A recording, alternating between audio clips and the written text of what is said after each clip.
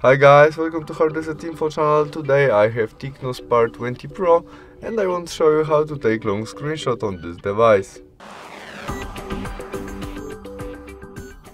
Our first step to do that is opening settings application or application where you can make take long screenshots. Something would have more information than you have on the one side of screen where you can scroll something.